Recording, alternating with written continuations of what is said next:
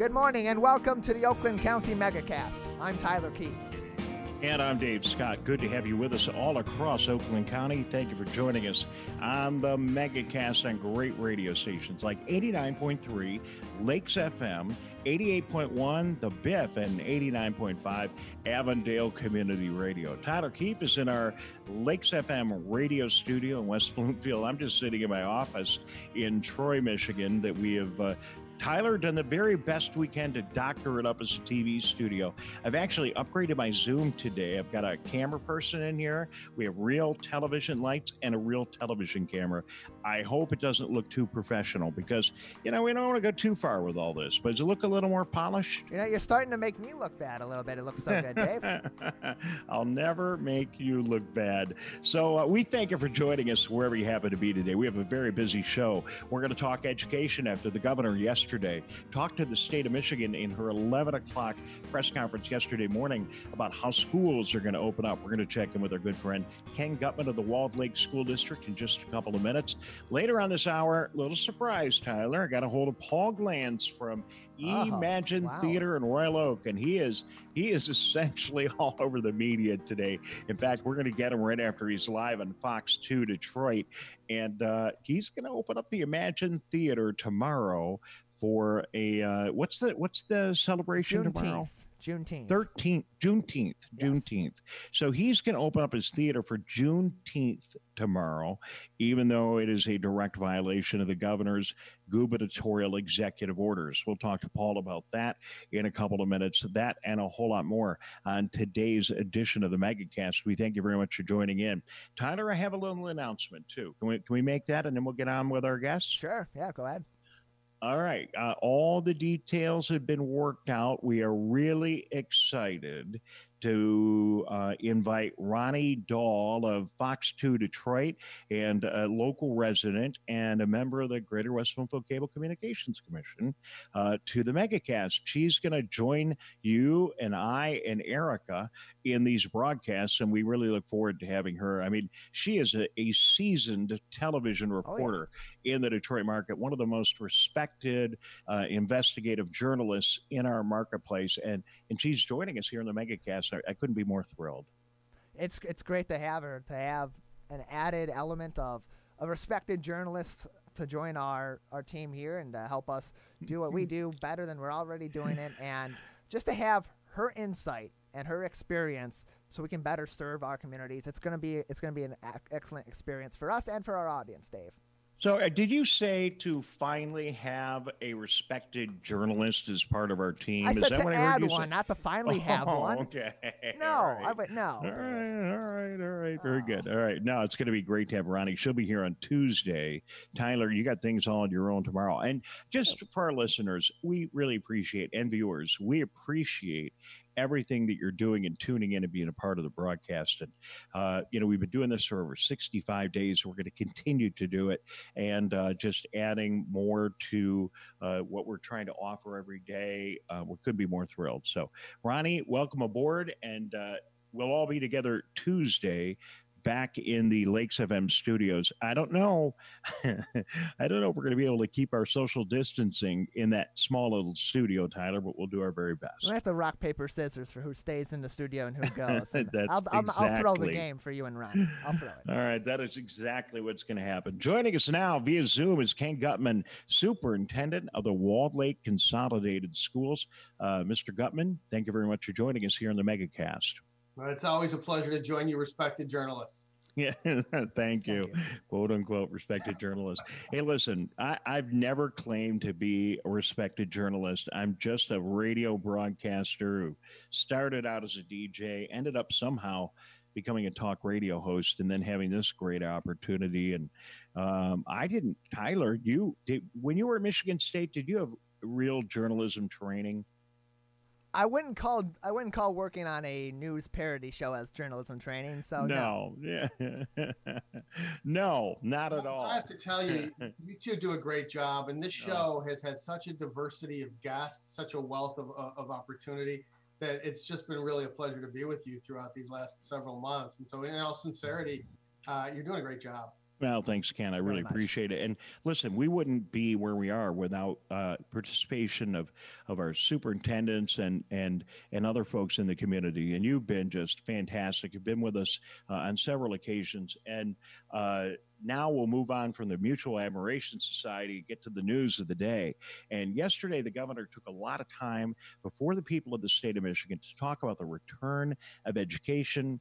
I assume you are watching. Bottom line, kids will be in school in the fall. Uh, tell us what you gleaned from the governor yesterday.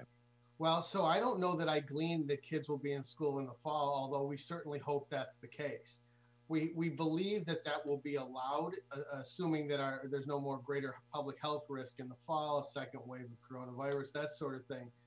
And we do know that the governor has a group working right now on making recommendations by the end of the month as to what we can do to reopen. So I, I do believe that there's an opportunity for us to reopen in the fall. Excuse me, we're going to err on the side of caution, of course, and put public health first.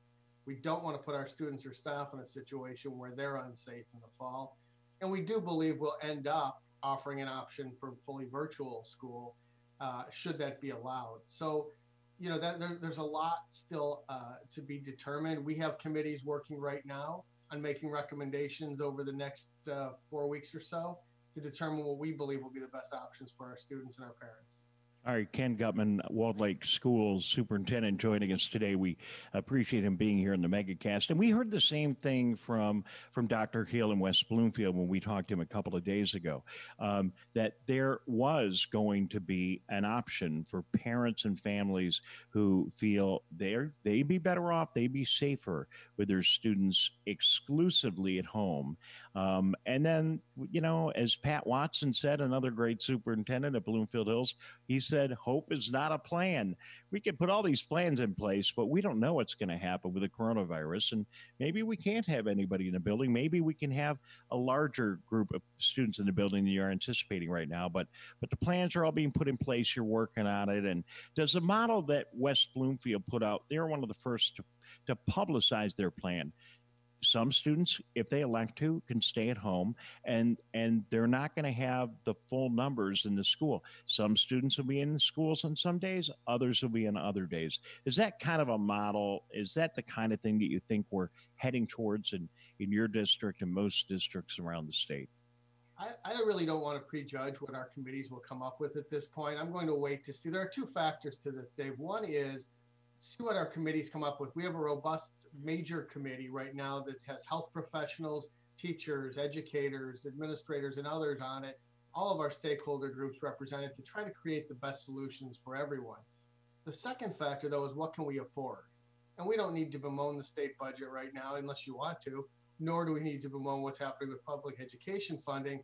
But I don't want to publish a plan until I know how much money I have. And well, we certainly don't know how much money we have right now some of these hybrid models are more expensive than what we do now when we're looking at historic budget cuts. Well, so, I, let, I, don't want to bemoan the state budget, but I think it's um, I think we have to talk about money, and I appreciate you bringing the subject up because you're right. I, it, you know, the plans that we're looking at they don't cost less; they they cost more. We get that, and ultimately, it comes down to what will the federal government doing? The state can only do so much. State has reduced revenue because of sales tax and other taxes that have not come in. We all know that. And the state has other obligations and responsibilities as well. They can move some dollars around, but they couldn't move enough dollars around given the limited funds they have to solve the problem of education. Now, yesterday in the press conference, the governor alluded to the fact that uh, she and I don't have her exact words, Tyler. Maybe we have a quote you could pull up, but it it seemed that the governor alluded to the fact that she felt progress was being made in Washington, and that we would see support for education here in Michigan from Washington D.C. I certainly hope that's the case, and I've been led to believe that by our legislators at the federal level. They've been great in responding to me and and, and really trying to work. Well, Haley Stevens and Gary Peters uh, have been great uh, in working with us. We hope that's the case, but there are still some things, Dave, that can be done in Michigan. Uh, we would look for some flexibility, for example. Uh, you know, the enrollment counts. If we were to be funded next year at this year's count because of the variability and un- unpredictability of next year's enrollment, that would help us financially. if we were able to lift limitations on, on our ability to deliver classes virtually, that would help us. Seat time waivers, the, the requirement that there's 75% daily attendance, if they could waive that, that helps us in other ways. Uh, so there are other areas in which the state of Michigan can help us between now and the beginning of next school year. So, is there a move to make those adjustments to the rules and guidelines that schools must follow here in the state of Michigan? While we currently are advocating for federal funding, we're also advocating for those and speaking to our legislators, and we're hopeful that something can be done because there's some action that can be done locally uh, across the state of Michigan to help schools, and we're hoping they're able to do that for us.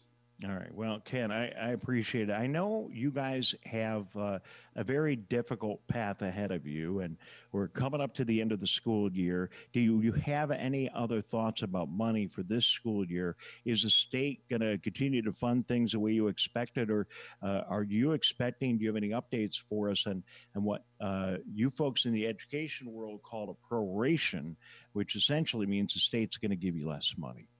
We've been given no word whether there will be a proration. We have 12 days to hold our breath. And, uh, you know, hopefully at the end of 12 days, we've not heard from anyone in, in, that regard because we've spent our money for the year. Our year is over, the money's gone. How much more can you take? No, I get it. I get it. It's a real challenge, and and you got next year to deal with, and and and and this year to clean up, and this is all falling right in the middle of all that. Ken Gutman is the superintendent of schools of the Walled Lake Consolidated School District. Ken, I didn't get a chance to do much prep today, uh, or talk to you extensively before we went on the air. Were you in that uh, in that that education? Um, uh, what was it yesterday? Uh, open house education uh, town hall is what they called it. Did you participate in that yesterday? I did not. Unfortunately, I was tied up in meetings all day. I was not a part of it. Hey, Tyler, why don't you pop in uh, here for a minute? Yes. Can you just give us a summary of what was said in the education town hall yesterday and just give Ken and I some kind of feedback? There was a education town hall with a number of superintendents from around Oakland County. What was the what was the main conversation? Uh, they talked about a number of different issues. So, Representative Brenda Carter's office uh, originally they were going to have different state and uh, federal leadership involved in the town hall, but uh, state and federal leaders got called into session. So uh, it was really a Q&A and a discussion between Pontiac superintendent, Walled Lake, sorry, not Walled Lake, uh, West Bloomfield superintendent, and uh, Avondale Schools superintendent about a number of different issues that included programs for kids who may be not who may not be able to be in school and have to learn virtually entirely. Dr. Hill talked about plans for a hybrid program that gives some options. Um, Pontiac Schools talked about partnering with community organizations for those families whose kids are going to have to maybe learn virtually in in the fall on days when they're not in school, but their parents are going to be back in work.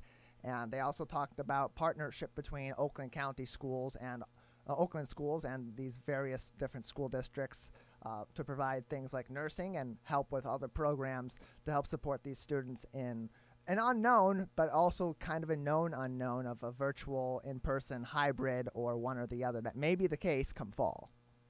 So, with that, Ken Gutman, uh, are there things that Oakland schools can do to coordinate between the districts to uh, maybe offer some combined services or reduce costs?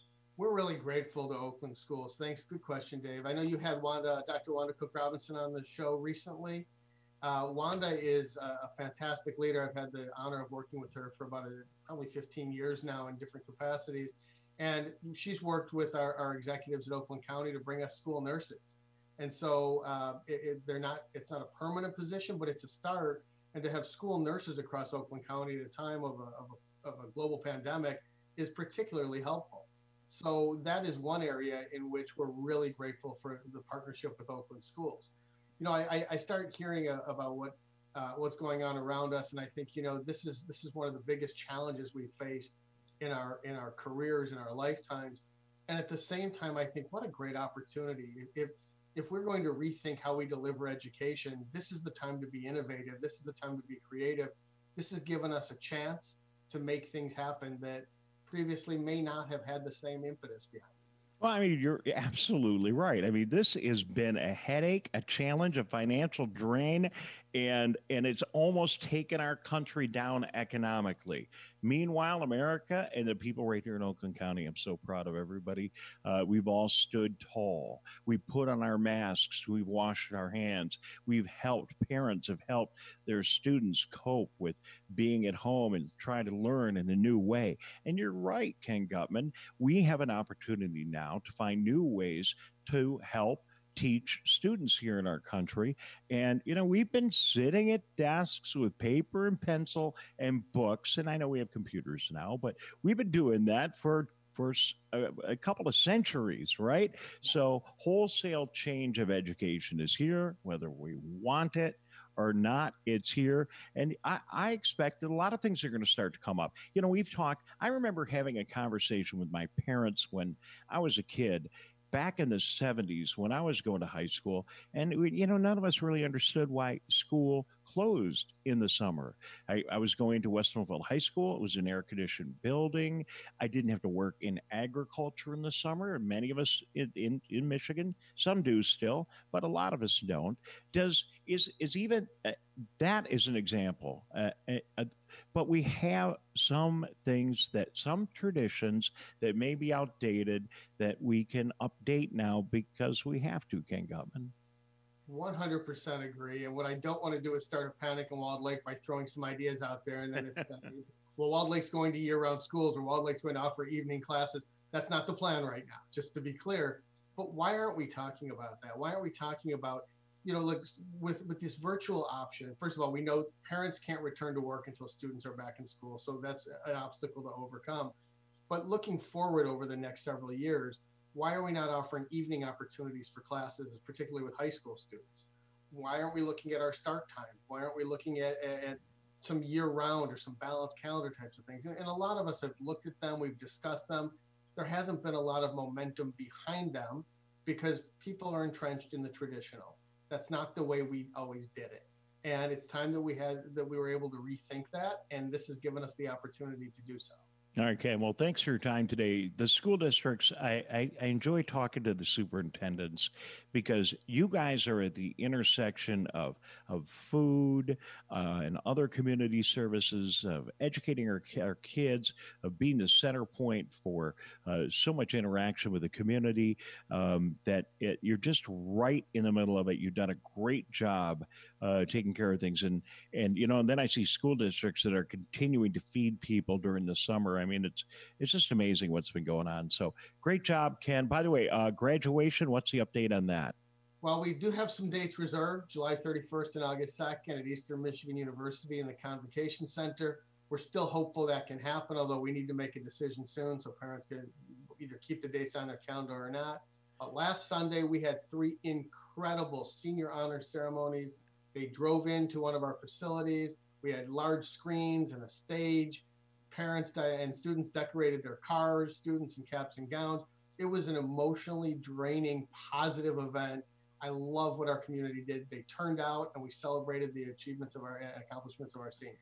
Uh, I'm so sorry I was not there. I was unavailable on Sunday, but uh, I'm really glad to hear that. And if you have anyone, you or Judy, have any video, we'd love it if you'd send it along, and we'll we'll uh, post it on our website. And uh, congratulations to all the graduating seniors in Walled Lake and across our entire listening area. Ken, anything you want to add before we say so long? I just continue to be so proud of the Walled Lake Schools community, the staff, the parents, the administrators, community members who stepped up to take care of children the very best they could during very challenging times. And it's just an honor to be of service to the community. Superintendent Ken Gutman of the Walled Lake Schools, thank you very much for joining us. I'm Dave Scott. Tyler Keefe is here. We're on great radio stations and municipal television. It's 89.3 Lakes FM in West Bloomfield and beyond. 88.1 The Biff in Bloomfield Hills, 89.5 Avondale Community Radio, serving a big chunk of Macomb and Oakland County. Thank you for watching on Birmingham Municipal access on Channel 15 Comcast, and of course Civic Center TV on Channel 15 Comcast. You can find us also on AT&T cable on Channel 99. Go in and hit one of your favorite communities.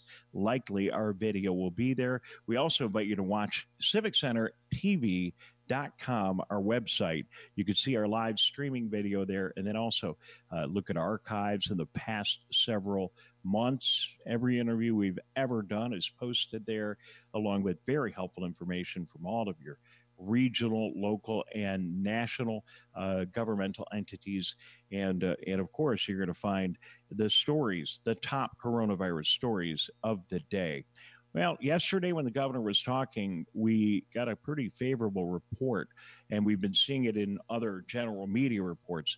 Uh, the current status of the coronavirus, Michigan is doing really better than most. When we return, we're going to talk to Dwayne Baxa, Associate Professor, Oakland University, William Beaumont School of Medicine, and get the latest medical information on the coronavirus. When we return, this is the MegaCast.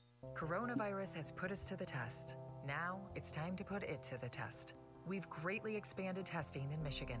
So, people who think they may have COVID 19 with symptoms like fever, cough, and shortness of breath can get tested. And those without symptoms who work in public can now get tested, as they could carry the virus. Start by calling your healthcare provider or contacting a testing site near you.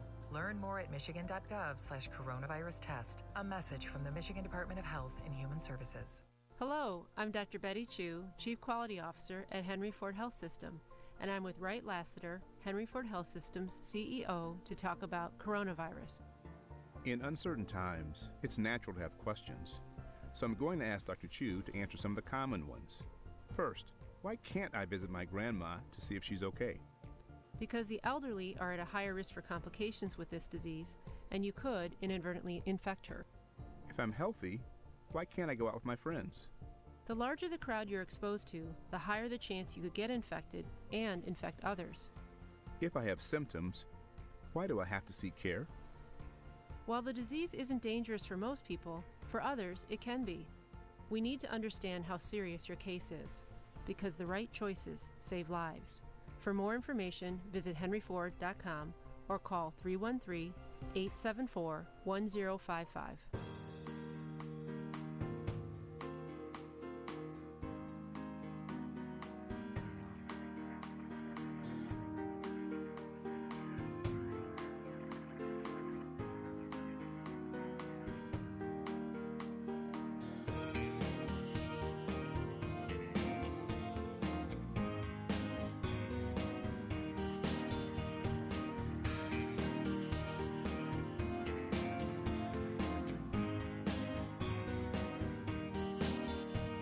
Welcome back to the Oakland County Megacast. I'm Tyler Keefe.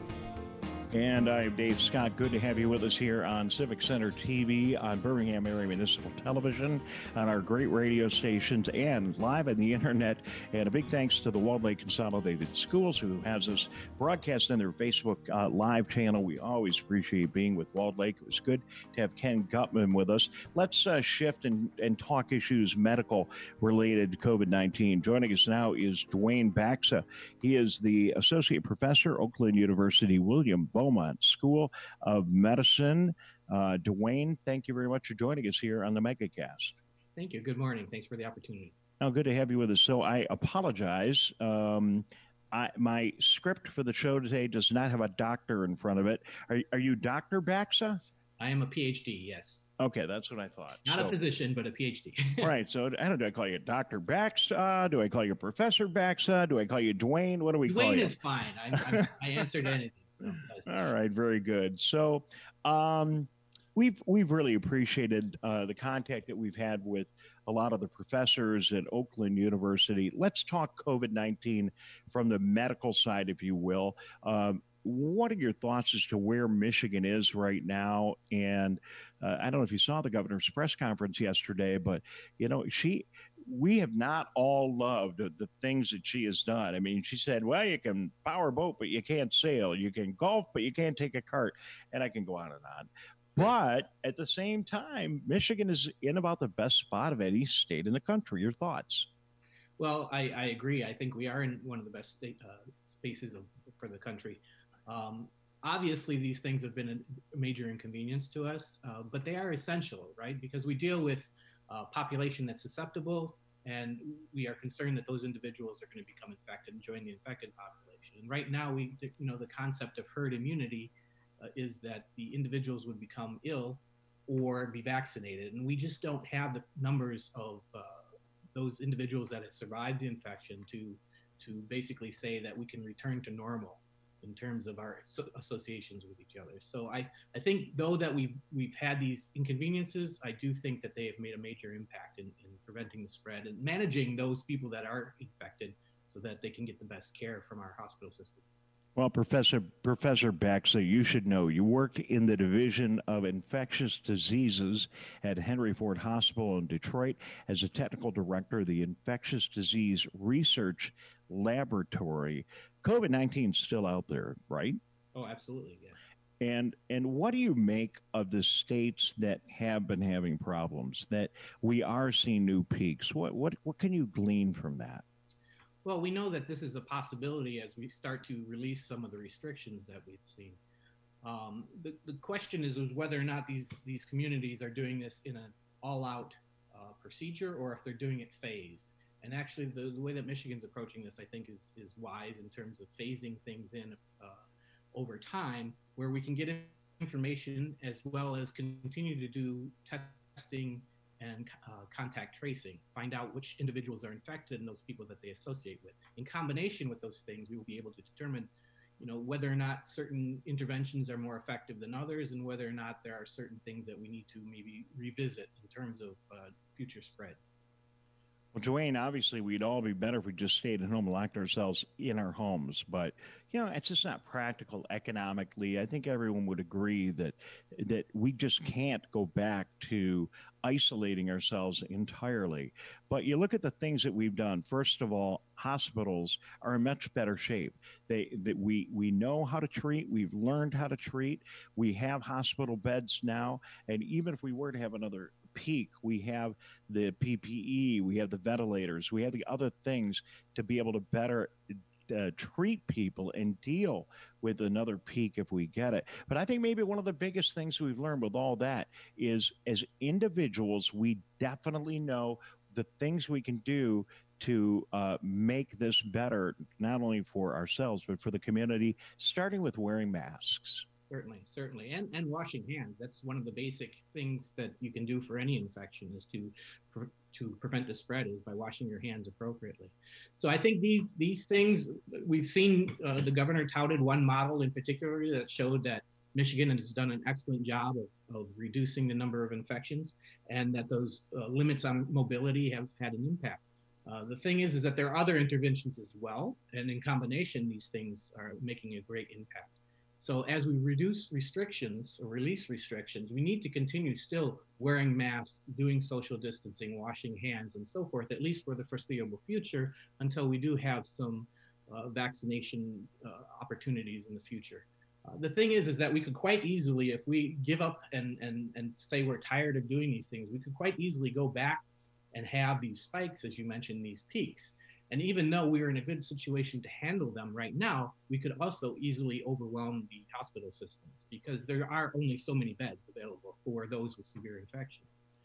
Dwayne Baxa, he is the Associate Professor, Oakland University William Beaumont School of Medicine, and has got a very impressive infectious disease re- uh, resume. We appreciate you joining us. So, hey, what do you think? I mean, do you think that if we start to see numbers increase, here in Michigan that we're going to have to lock back down, that the governor's going to say stay at home order is back in place? Or can we utilize the things that we know? And, and maybe there's no answer to this, but I like your opinion.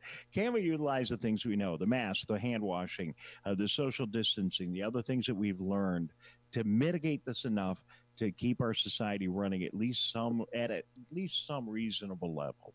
Yes, I think that's entirely doable. I mean, obviously, in an extreme situation, we would have to go back to more restrictive measures. But the thing is, is these policies work because the population is making them work. The residents of Michigan have done, uh, followed the recommendations, and and they have been the ones that have resulted in, in these lower infections. And even as things start opening up, as we visit our restaurants, as we as we go and, and visit family that we haven't been able to see for several months, we still have these restrictions in place, these self behaviors, hopefully, that have been modified that will ease the risk, right? There's always a risk, and the question is managing that risk and whether or not you do multiple things that increase the risk or try and mitigate those as much as possible. But yes, you're right. I mean, we, this is not sustainable economically for us to be in a lockdown forever. So we do have to have some resemblance of normalcy, but that normal normalcy is going to be different than it was. Dwayne, uh, this has been a pain, and no one is really happy with the governor uh, because it, this has impacted all of us. I mean, we're we're going to talk to Paul Glantz in a couple of minutes, and he's opening his Emagine movie theater uh, for a very good reason on Friday, but against the governor's wishes. So this has been hard every step of the way, and I think this thing I've said has been harder for her to untangle than it was to tangle it in the first place. That all said, you look at where we're at right now, and it's really hard to to draw any other conclusion than the governor has saved lives. I, I would agree, right? And and there's historical precedents for this too, from the 1918 flu pandemic, um, where we've seen communities that acted early on uh, saved lives in the long term, right? And the idea is to, as you've heard, flattening the curve. The idea is to to try and reduce the number of infections so that our systems can handle the, the burden until you know there's interventions that are available for treatment and, and vaccine protection. And in the interest of, uh, of, of being fair and unbiased, because we don't take sides here, we're, we're a community broadcaster, so we don't do sure. that.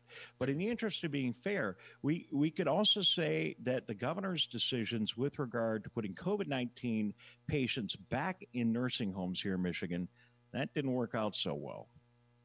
That it didn't. And, and the thing is, is that there are decisions to be made. They're made uh, with the information that's at hand. And as you had mentioned earlier, as we go through this process, we are learning things new all the time. We are learning how many people are truly infected. We are learning in terms of why some individuals are asymptomatic versus others that have severe infection.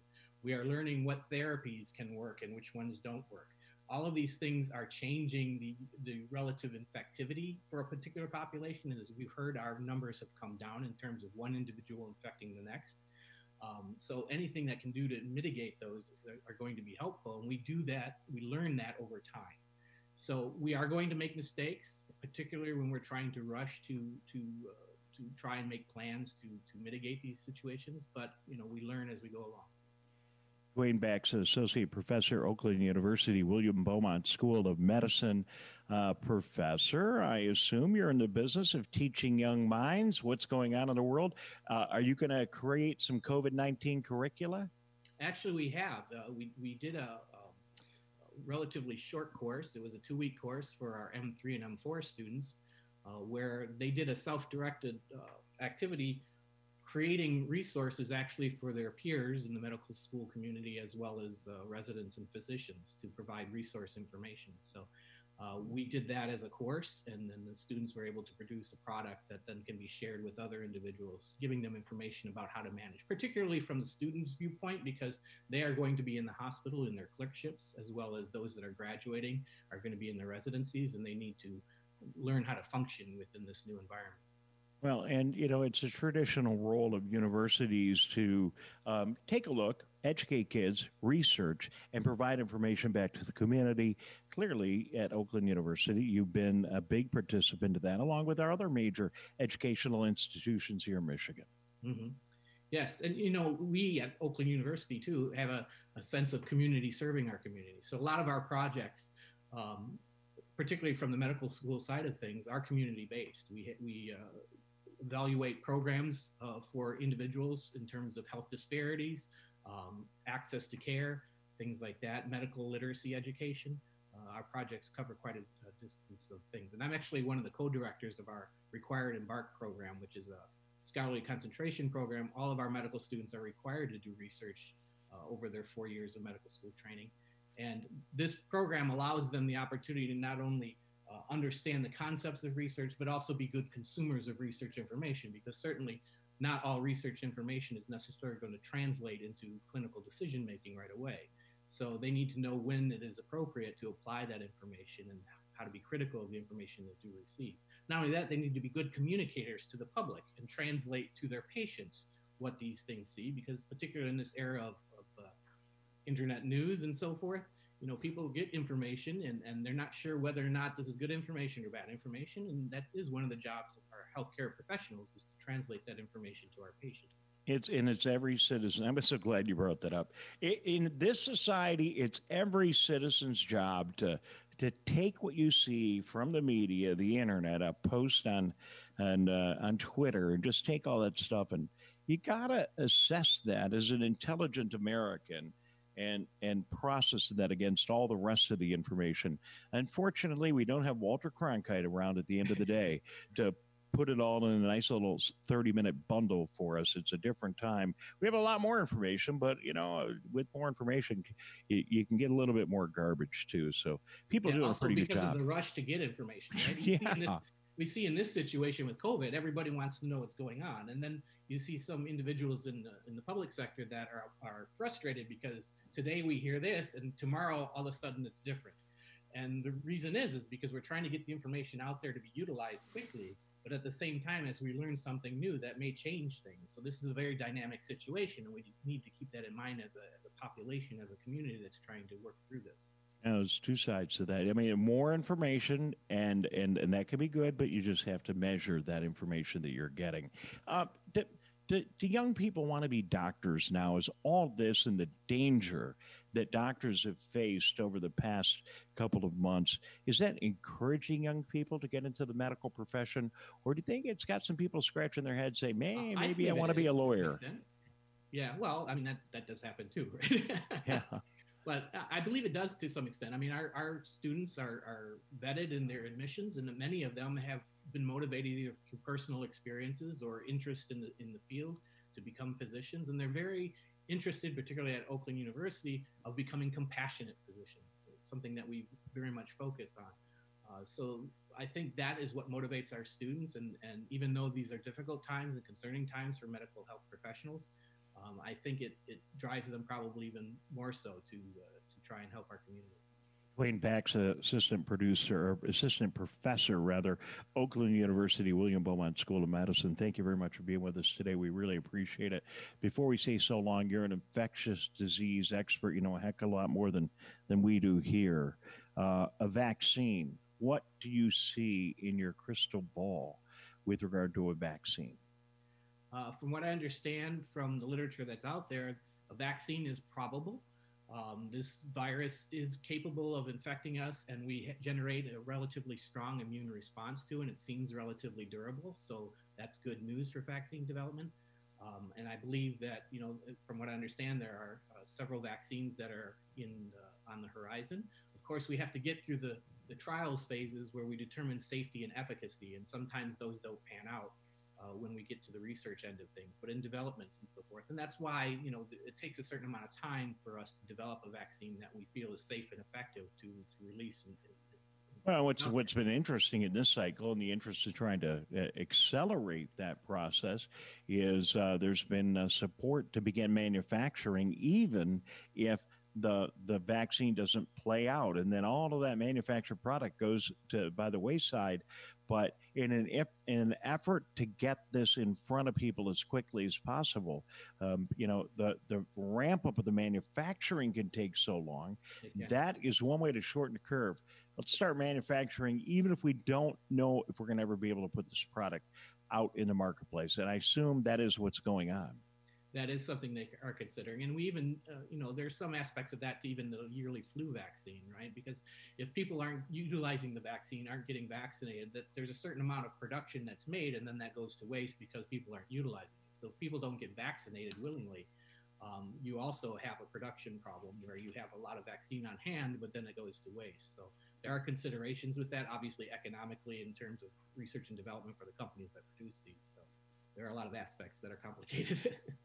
All right, Dwayne, thank you very much for being with us. I really appreciate it. Dwayne Baxa, Assistant Professor, Oakland University, William Beaumont School of Medicine, and uh, knows an awful lot about infectious disease. We'll keep you in our in our Rolodex. We still have an old Rolodex. We'll keep you. We'll keep you in there and and uh, probably check in with you again soon. Thank you. Thank you very Sounds much. Sounds good. Thanks for the opportunity. All right, very good to be with you. Take care. Stay safe. And I'm going to go wash my hands. We got to get my mask my mask is right here. I got it as soon as I get off the air. I'm alone in, in this studio. We uh, we're doing all we can, and I know The folks watching and listening are doing the same. We're going to take a break. We'll be back in a couple of minutes. You are watching and listening to the Oakland County Megacast. What? What? What the heck is a megacast? It's three great radio. It's one, two, three. Three great radio stations 89.3 Lakes FM, 88.1 The Biff in Bloomfield Hills, and 89.5 Avondale Community Radio, not too far from the campus of Oakland University. It's also Birmingham Area Municipal Access, Channel 15 Comcast, Civic Center TV, also Channel 15 Comcast in West Bloomfield, and on cable and Channel 99 AT&T go into the governmental areas and you'll find us in a lot of those outlets. You can also tune in at civiccentertv.com. And today, thanks to the Walled Lake Schools, we are on their Facebook Live. Tyler and I will be back in a moment. Don't go away. It's the Megacast. Coronavirus has put us to the test. Now it's time to put it to the test. We've greatly expanded testing in Michigan. So people who think they may have COVID 19 with symptoms like fever, cough, and shortness of breath can get tested. And those without symptoms who work in public can now get tested, as they could carry the virus. Start by calling your healthcare provider or contacting a testing site near you. Learn more at michigan.gov slash coronavirus test. A message from the Michigan Department of Health and Human Services. We know that we're asking Americans to do a lot right now. So we're asking everyone to be selfless for others so that we can protect those who are most susceptible to this virus. A question I often get asked is why should young people care about the spread of coronavirus? Well, we know that people with underlying medical conditions over the age of 60 are at highest risk, but they've got to get it from somebody. Social distancing is really physical separation of people. It's what we refer to when we ask people to stay at least six feet apart. Not going to bars, not going to restaurants, not going to theaters where there are a lot of people. It all just means physical separation so that you have a space between you and others who might actually be infected or infect you. We all have a role to play in preventing person to person spread of this disease, which can be deadly for vulnerable groups. For more information on how you can social distance, please go to coronavirus.gov.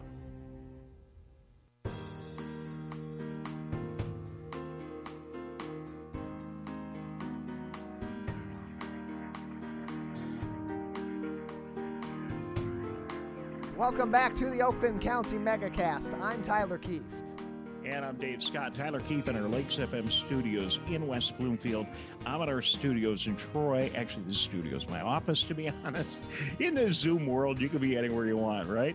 Uh, thank you very much for joining us on Lakes FM in West Bloomfield, on the Biff in Bloomfield Hills, on Avondale Community Radio in Oakland, and uh, also Macomb County, and on our wonderful municipal television stations all across the county. Good to have you with us. Thank you for being here today. Hey, Tyler, in a couple of minutes, we're going to talk to a company that has found a way for us to use our hands a little bit less for an activity we do each and every day, and that's opening doors. And when you think about, you know, just it, I don't even want to really start people thinking about all the germs that are on doorknobs because Tyler, I open oh, so many doors every day.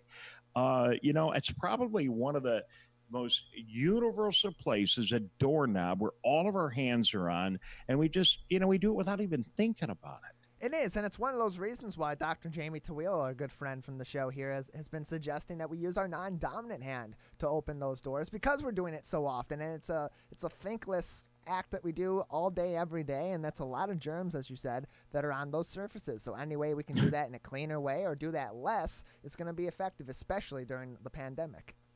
Well, a local entrepreneur right here in our area has come up with a solution, and we're going to talk to him in a couple of minutes. But right now, we are delighted to be joined by the, uh, I think, the, the owner, president, CEO, we'll get the title right, of Emagine Theaters, and it's Paul Glantz. Paul, thank you very much for joining us on the show. My pleasure, Dave. Glad to be with you. What's your title? Let me get your. T- what's it, what's it say in your business card? Well, co-founder and chairman these days. okay, thank you very much. So we've been reading the news. I know you've been all over the media. You were on television a couple of minutes ago before you you joined us. You've decided to open up your theater tomorrow. Tell us a story. You know, we uh, have a timely opportunity to to do something we think is really useful in, in its uh, community which is not just an issue of press release supporting our African American brothers and sisters but to actually do something meaningful and use our venue to raise money for a worthy cause. And so we came upon the idea of doing the Juneteenth Film Festival, kicking off tomorrow. We'll be hosted at Emagine Royal Oak.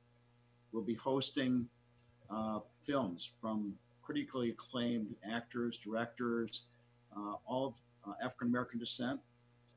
And we'll be raising money for our terrific cause, which is UNCF. And so I would tell you that uh, this is really just about uh, our effort to do good and to speak with our actions more than our words. Paul, I know you are one of Metro Detroit's most charitable entrepreneurs, and uh, anyone who knows anything about you knows that's absolutely the case. We see you at at, at uh, you know all kind. We see you um, doing your part all over our community. Um, this one is a little bit interesting in that the governor has closed down theaters here in the state of Michigan, and, and she's not opened them. And and you decided to proceed with this event in spite of that. Uh, just can you take us through your thinking on that? Yeah, here's the thought, Dave. We have uh, voluntarily uh, complied with and, and uh, decided to close our doors for the last three months in an effort to support the governor's uh, undertaking to protect public health and safety. And so we're supporters. Concurrently, we're now at a point where it's reasonably clear that there is no reasonable distinction in the science and data between opening a restaurant and opening a movie theater that just happens to be a restaurant as well. In fact, what we've determined is that we're going to identify going forward as a restaurant that just so happens to serve movies. So, is this the beginning for Emagine Theater? By the way, I, I I, I, hope I'm not getting you in the middle of a big political mess here. We, we, you know, we want to be your friend, Paul. But is this is this the beginning of leaving the theaters open? Is that what you plan to do with this event? And and you know, listen, I love your theaters. You got the great restaurants. We go in, the most comfortable seating. It's so cool. We go into your theaters. Uh, you know, somebody brings us our food often when we're sitting there in the movie theater. I, I love the movie experience you've created. But are you going to stay open, at, eh, given what you just said, after this event on Friday? No, this is not a uh, this is not a statement of social disobedience. This is not uh, trying to put our thumb in the eye of government officials. This is really about doing good, and we're going to continue with the film festival uh, for as long as we think it, uh, it it can raise money for the intended cause. But at that point in time, we'll probably take a break again uh, until we're given the all clear sign. All right. Well, it's a great effort. I appreciate it. You know, and we've seen this from every sector as they've opened slowly. It was, you know, the the salons and the barbershops. And, you know, when they opened up medical offices, they felt that they should be open. When we had boating and sailboats could sail and power boats couldn't. We've we've had a continuing run through this whole uh, COVID nineteen crisis where some people have you know been given the opportunity to open and others haven't, and there hasn't always been a lot of clarity as to why. Do you feel the movie theaters? I, I mean, you've already said it, but can you just restate it? The movie theaters are are are, are kind of a victim of that right now.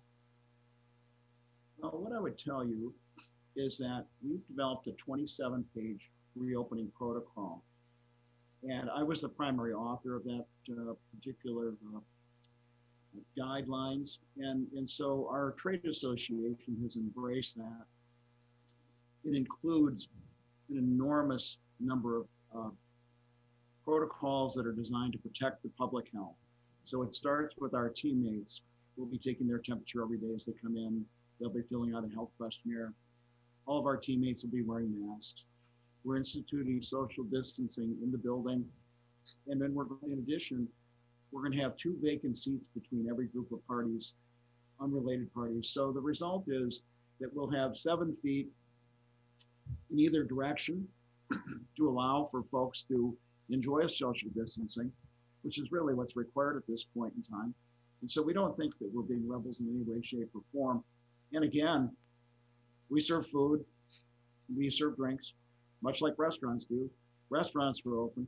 And if, if, if, if our government officials have science or data that would actually support our continued closure, then I think it's time for them to bring it forward.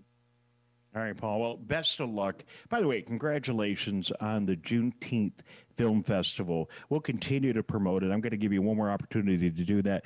Great idea at the perfect time, and uh, and I can't wait to get out to Emagine Theater. I'm going to come out for the film festival, and I just can't wait till we get things back to normal. And uh, on a hot summer evening, get into the nice, cool, air-conditioned Emagine theaters in our area and, and enjoy a movie in Birmingham or in in Royal Oak. So we look forward to that. Paul, how do people participate to, for with the June uh, Juneteenth Film Festival? They just come. Do they buy tickets? Is there information online? What should we tell people? I would suggest that um, our guests go to emagine-entertainment.com. We have a whole lineup of films, and the shows and showtimes are available. It's a great lineup of films, and you can buy your tickets right on our website. All right. Paul, thank you very much. Thanks for taking time for us today. I know you're busy with uh, with everything going on, but I appreciate you taking a couple of minutes. Paul Glantz, very good to have you with us. My pleasure. Thanks for having me, Dave. All right. So there you go, Tyler. Let's head to the movies so we can at least go to the film festival this weekend and uh, head off to Royal Oak. And I, I really hope that uh, all of you watching and listening will take an opportunity to do the same. And you know, I feel for Paul in the movie theaters, just like you know we we felt for the barbershops and the hairdressers and the restaurants before them and all these different areas of our economy that it's just difficult to make logic over what's opening and what isn't opening. I would agree, and I, and I like the approach that Paul Glantz and his team at, at Emagine Theaters are, Entertainment are are taking with this. It's an act of defiance in a way, like the Owosso Barber, but it's a different kind of defiance where it's calculated and it's temporary, showing, hey, we can do this for a good cause, and sh- and at the same time show that we're able to open our facilities and reopen our business that's not permitted to be reopened yet, and show that we can do it in a safe manner, while at the same time raising awareness for something that needs to be raised awareness for, uh, without breaking the rules for an extended period of time. Yeah, and, and he's trying to do it in a nice way. Exactly. I mean, it, you know, the Owosso barber was like, a, "Hey, I'm going to do this. Screw you." Right. And right. I don't think, and I, you know, and I get that. Okay, I'm not passing any judgment on the Owosso barber, but you know, Paul's trying to do this, you know, with a charitable opportunity, and it's given him an opportunity to say his piece. And you know, I think a lot of people agree with him. And and uh, you know, it's I think it's he's a, he's a very smart business person. And you know, who's going to shut him down in the middle of this activity? That would be crazy. So, uh, well done, Paul. I'm, I'm not surprised yes. that you came up with a great strategy to make your point, and anything we can do, and, and we will, we'll get out and get to the film festival. Quick break, and then we're going to learn all about the Toad Opener, a new product that is going to keep you safer during COVID 19 when we return right here on the MegaCast. Michigan, we still need to stay careful because we don't want to go backwards. Back to where we started. So keep standing six feet apart. Keep wearing a mask in public. And if you have symptoms, talk to a healthcare provider about getting tested. To move forward, let's all do our part. So stay careful. Michigan.gov slash coronavirus.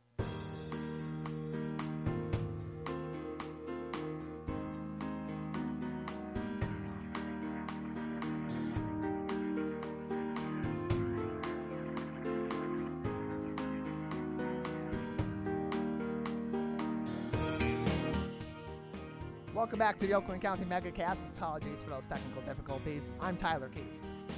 Hey, Tyler, are we okay? We are okay now, yes, Dave. Okay. We'll, we'll So, hold uh, strong I- and hope it, it, it continues on strong. Okay. okay. So I don't know where we left it off, but we are uh, we are right now with Nick Morrison, co-founder of Toad Opener, and uh, Nick was just telling us how this works. Essentially, it's a door opener. You don't need to touch with your hands. You open it up with your foot. So, Nick, uh, go back to telling us how this works. Yeah, so we prep. Uh, we have a door right here. We've got a sign that goes at eye level um, that's letting people know that it's there. And it is so easy to use because all these public doors you see are all ADA compliant. So the amount of pressure needed to pull open that door is always less than five pounds.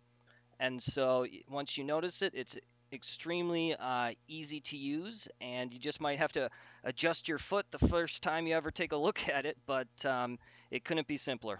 No, it's a really good idea. I, I love it. And congratulations on coming up with something innovative. And uh, good to hear you're using a 3D printer to make it. I just saw news today that even the automotive companies were using 3D printers to make components for some of the uh, ventilators that we're using. So it's it's a really great tool to use when you're trying to manufacture something, get it out to the market quickly. Um, so uh, further innovation in your innovation. So uh, Toad, how did you come up with the name Toad Opener? Well, because uh, we wanted to play on words, and um, we noticed that all the big brands seem to have some sort of animal mascot. We've got emus and geckos and uh, everything else, and so um, my father actually. Uh, uh, we call him Big P. Shout out to him. He uh, he helped me out with this uh, from the beginning, and uh, it just occurred to him one day. He said, "I got it. This is what you should call it," and uh, the rest is history. And it's got to also be nice, in addition to not having to use our hands to open doors and help stop the spread COVID 19, it's nice when you have your hands full too. Right. I mean, we just, uh, I don't think they'll mind, uh, put it in the uh, Royal Parkview Hotel in Rochester.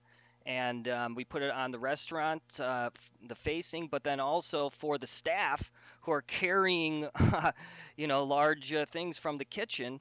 Um, that they said immediately they said oh well why didn't we always have this thing here gosh um, so yeah I mean, and and again putting it on uh, refrigerated doors um, in the office i think that's going to be a, a no-brainer um, when we when we start to uh, reopen up so nick your business is in royal oak and uh, clearly you've you've started to promote this around oakland county and so we're so happy to have you on the show today. Uh, what are your aspirations for this product? Well, we uh, we think that there's a um, pretty much an endless sea of doors out there, and um, we uh, we want to partner with um, with big groups, with uh, independent contractors who want to be the person uh, locally, nationwide, who uh, wants to put the you know wants to go ahead and put them in. And so we have a uh, installer program, and we have uh, special pricing for for guys who say, "Hey, you know, I'm a I'm a contractor in in North Carolina. I've I know the you know." A hundred bars or restaurants or movie theaters, like your previous guest, um, and I think I can help put them in, and uh, we're happy to do it. All right, Nick. Listen, I got to run. I'm so sorry. Thank you very much for your time today. Great product. We'll have you back on the air. Keep in touch with us. Let us know how it's going. And uh, and I'm I can't wait to get out in Royal Oak this week. I'm going to go look around and and I bet I run into a Toad opener or two, a new device that you can add to your door to get the door open without having to use your hands. Genius work. Todd, if people want to get a hold of you, how do they do so? Um, you can go to www.toadopener.com, T-O-A-D, and check us out on facebook.com slash toadopener. And actually, I'll announce we're, uh, we're going to launch a contest to name our two toads. We've got a lady toad here and a male toad. And we would like your help to figure out what uh, they should be named. So uh, check out our Facebook uh, account and vote. All right. Very good. Appreciate it, Nick. Sorry, I got to go. We'll talk to you again real no soon. No problem. Bye bye. All right. Nick Moritz, the co founder of Toad. I love it. Toad Opener. Tyler, let's add Toad Opener to the COVID 19 vocabulary. Oh, we will. We'll add it right away, Dave. All right. I got to scoot. Let's go to break. This is the MegaCast. Tyler will be right back. Coronavirus has put us to the test. Now it's time to put it to the test. We've greatly expanded testing in Michigan. So people who think they may have COVID 19 with symptoms like fever, cough, and shortness of breath can get tested. And those without symptoms who work in public can now get tested, as they could carry the virus. Start by calling your healthcare provider or contacting a testing site near you. Learn more at michigan.gov slash coronavirus test. A message from the Michigan Department of Health and Human Services.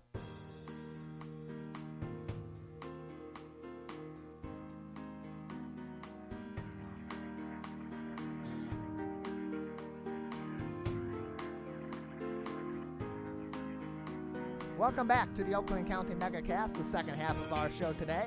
11 o'clock hour, it's all me, Tyler Keefe, here in our studios out of West Bloomfield. Dave Scott out on assignment for the remaining half of the show today, getting the scoop on everything we'll need to know for next week's program. And uh, he'll return with me on Monday and then with Ronnie Dahl and I on Tuesday. It's going to be a great next week for us here at the MegaCast, and we hope that you'll continue to join us through all that. If you know had some technical difficulties today with some with the Zoom stuff in the first hour of the show, and that happens. You know, the internet goes out, and we're all doing stuff virtually today, and technology isn't always on our side. But we thank you for sticking with us, bearing with us through all of that, and hope that you'll enjoy the second half of our program today. We have a lot of interesting people coming up to talk to. Nate Adams, Detroit Fil- from the Detroit Film Critics Society and theonlycritic.com will join me in a few minutes. And then to cap off the show today, we will talk with DeWitt Dykes, an associate professor professor at Oakland, Oakland University's Department of History. There's a lot of historical context to what's going on right now in the United States with the Black Lives Matter movement, with uh, pushing for police reform, with taking down statues of questionable historical uh, figures that have been made monuments in different cities throughout the United States, in the South, but also in part in key cities on our east coast and our in our original colonies, and even in places as close as Detroit, where recently the Christopher Columbus statue was was uh, going to be taken down uh, due to that, of course, murky history with uh, rela- relation to Christopher Columbus. Great resources that we have for you for all your news. Making news today, let's just go through our coronavirus news right now, making our top headlines today. Uh, this is all available to you at civiccentertv.com slash coronavirus. Yesterday, Governor Whitmer at a press conference was able to show an amazing graph that showed Michigan and New- Michigan, New York, and New Jersey as one of as the three states that are quote unquote on track to contain COVID-19. Michigan eh, alongside New York and New Jersey have a low COVID risk level at this point in time and are, and are on track to contain the virus. COVID Act Now group now is a group of technologists, epidemiologists, health experts, and public policy leaders helping to identify each state's risk level for the spread of the virus. Michigan, New York, and New Jersey are the only states on track to contain COVID 19. Other states are at risk or are in a, a state of a potential second outbreak as it's currently standing. The Michigan legislature approves $880 million in pandemic spending. The legislature unanimously approved the spending in a federal relief aid of spending of federal relief aid, my apologies, related to the coronavirus pandemic. The, fen- the funding is to be used for frontline workers, municipalities, and child care providers. Governor Gretchen Whitmer is set to sign it and says, quote, this bill is an example of what can happen when politics are put aside and all parties come together to do what is best for the people of Michigan, including our frontline workers in local communities across the state. And closed quote. Additionally, 3D printing has helped GM, General Motors, make products for, quote, the arsenal of health. General Motors capitalized heavily on the use of 3D printers to build this arsenal. Most of the tools used to assemble the ventilators that GM is manufacturing with Ventec and Hamilton Medical have been 3D printed. General Motors director of, of additive manufacturing, Ron Daul, says, "We are quote we are able to ver- to very quickly use our capability here to pivot from what we use as automotive tools and apply it to medical devices." General Motors created two facilities for 3D printing technology in Warren during the virus. And construction for 2020 is on track is on track despite coronavirus delays. That story and more, you can find that in updated news every single day on our website at civiccentertv.com slash coronavirus. And also go to civiccentertv.com slash megacast where you can find all of our interviews and clips of the most important things our guests had to say in those interviews on our website on demand any time of the day. Clips and interviews such as as we're having now with our next guest, Nate Adams, who joins us on the Oakland County Megacast. Nate is is a is a Michigan-based online and print critic for film, theater, and television. He is a Rotten Tomatoes approved critic, and has had reviews seen across across national platforms like MovieTickets.com. He was also nominated for Rookie Writer of the Year in 2018 by the Michigan Press Association for his entertainment coverage. Nate, welcome to the Oakland County Megacast. Hey, thanks. Uh, thanks so much for having me. Happy to be here talking movies. Yeah, happy to have you with us. So, movies have have had movie theaters, movie the movie going experience, and just film in general has had a major change undergone during this coronavirus pandemic, much like other industries. Talk about, t- tell us a little bit about what the landscape of the filmmaking industry is at this moment in time as theaters continue to be shut down and productions are still somewhat in flux in most places in the world. Well, we're kind of seeing um, a shift in the way that uh, consumers, you know, audiences are getting their content. Um, for example, you know, Netflix has been uh, a pioneer in the in the streaming game and getting movies into into households, you know, without having to travel to the theater. And um, you know, recently, uh, Universal Studios has um, uh, kind of undergone an experiment, if you'd say, with premium video on demand. And so instead of um, their big pictures heading to theaters like they were originally planned. Um, like you're seeing uh, The King of Staten Island uh, premiered last week at home. Um, and their big movie um, that caused a lot of ruckus uh, was Trolls World Tour, which originally was supposed to come out April 10th in the theaters. Um, and instead, they went straight to, uh, to streaming um, at home for a premium price. And they actually made quite a bit of money off it. And it, and it caused uh, the theaters to kind of sweat a little bit. Um, and I think that that is going to be a permanent change. You're going to start seeing um, smaller scale pictures head straight to streaming and at home viewing. Um, and you're only going to see like the big Disney Fast and Furious pictures in the theater. Do you believe that that change in the status quo is going to give these smaller, more independent films, or maybe the films that aren't expected to have as great acclaim or, or Oscar buzz necessarily, a better chance at, at sustainability um, in their premiere stage and ability to profit and spread their message uh, than the traditional theater method.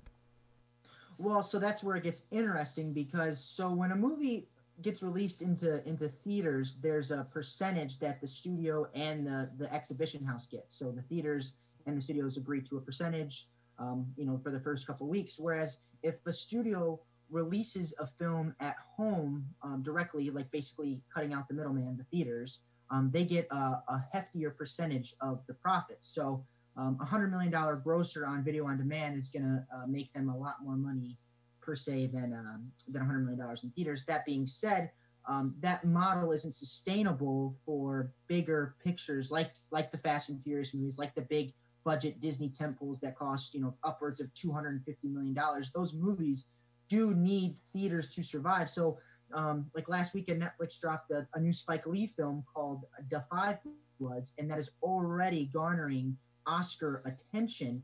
And and because there is really nothing out in theaters right now, because you know a lot of theaters are closed, especially in, in Michigan, um, what happens is that that movie can now essentially dominate the conversation all summer because everybody has immediate access to it. So it, it all depends on a platform. You know, a lot of these studios do need those fall festival circuits to launch the smaller scale films. You know, the Sundance Film Festival, there's Toronto, Venice, Telluride. All those festivals are in the fall, and right now they're up in limbo if they're going to happen. So these studios are going to have to get creative with how they're going to market their films in order to get you know awards prospects and build word of mouth. And consequently, with these larger scale films that have the bigger studios behind them and have the A list actors and are already under critical acclaim when, they enter the theaters. Is that going to change that dynamic too as they're competing with these films that are going straight to digital and people are consuming them? Um, at a cheaper price necessarily than they would going to the theaters. Uh, they're able to see this at their own leisure. They're able to watch it multiple times over. Is that going to change the dynamic possibly going forward, at least in the interim, for these large scale films that maybe we'll decide we'll release in theaters for those that want the theater experience, but also release digitally or, or uh, straight to digital in this case, so that we can compete with these other films.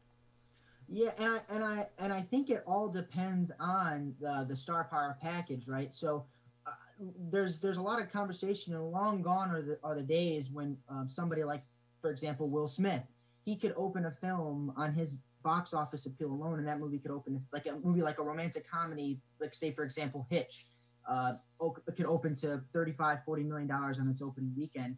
uh, that that just doesn't happen anymore. The only way Will Smith can open a movie is if he's headlining the Disney remake Aladdin, which turned out to be the biggest movie of his career. But that wasn't that was based on an, an existing IP. So um, there's a movie coming out next year or in a couple years, uh, directed by Martin Scorsese, and it has um, Leonardo DiCaprio and it has Robert De Niro in it.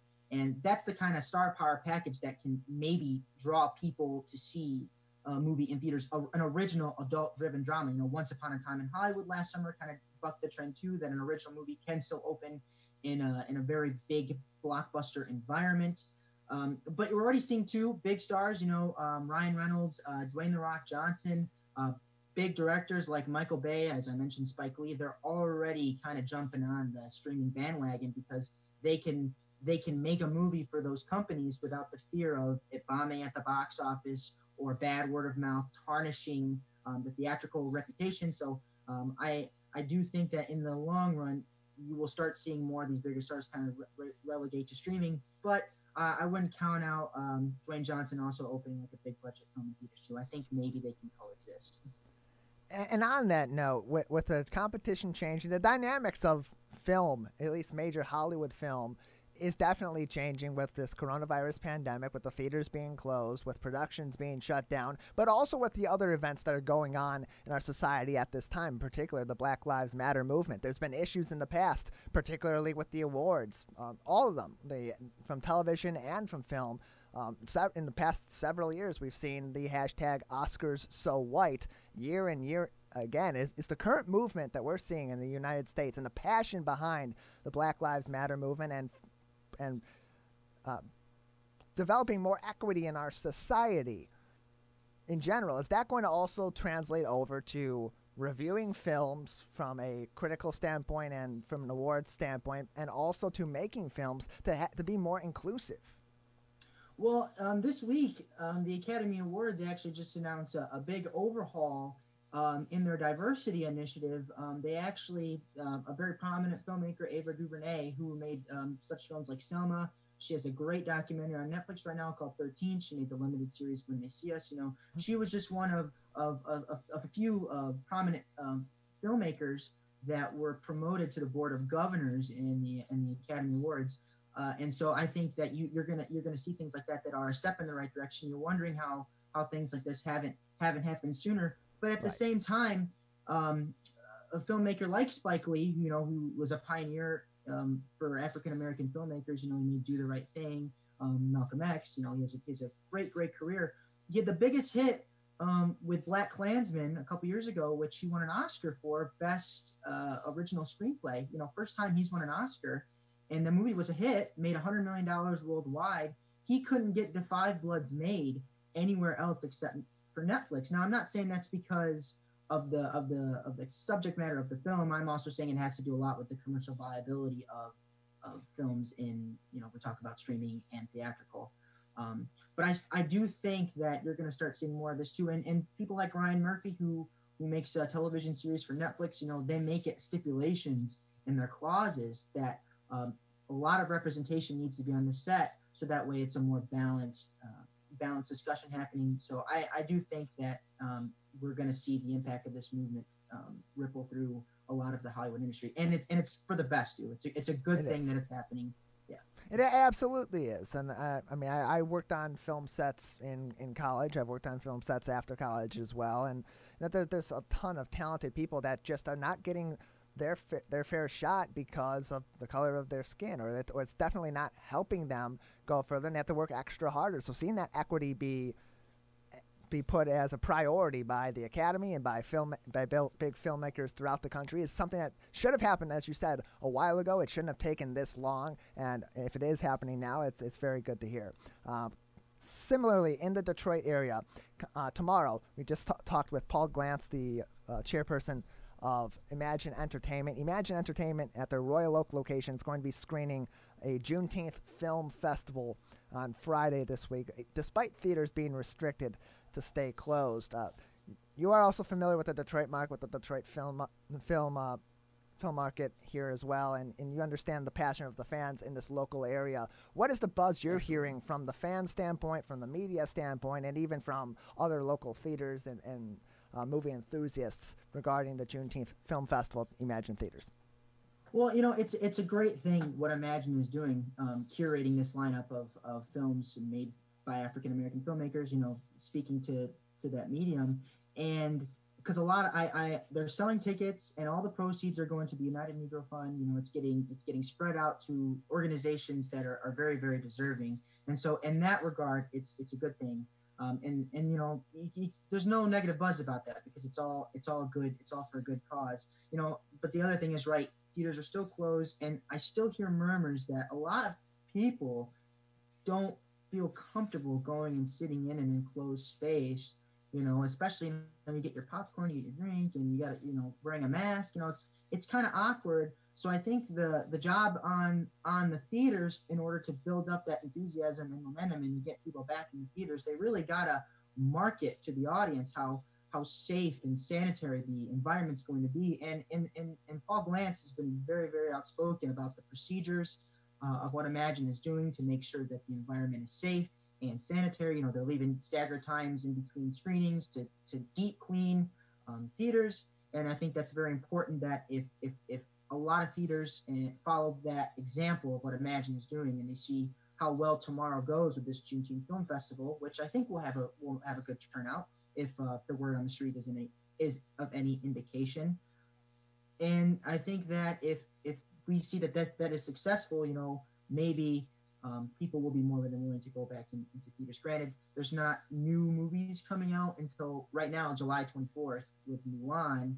Um, but I think that are gonna theaters are gonna rely on back catalog titles like you know your Jaws, your Back to the Future to get people interested in theaters. And tomorrow, I think is a good is a good experiment to see how willing um, patrons in Detroit and all around Michigan are going to be to go back into the theater. Uh, joined now, we're joined currently on the Oakland County Megacast by Nate Adams. He is from the Detroit Film Critics Society and also the Only Critic.com. And we've uh, we're talking to him about the straight to digital trend we've seen lately in filmmaking as theaters continue to be closed due to COVID 19. Also, the Juneteenth Film Festival to be held tomorrow in Royal Oak at the Emagine Theater. Uh, and then, just before we let you go, a couple more minutes with you, Nate. Uh, I'd be remiss if we didn't talk about some of the some of the movies that are out there now or are coming uh, in in the uh, coming days, weeks, and months. Uh, first and foremost, Artemis Fowl being released by by Disney Plus. Uh, some some good and some bad being being heard about that. Is, is this a what's your review of Artemis Fowl? Is it good? Is it bad? Is this something that could break Disney Plus if it's one way or another, for better or for worse?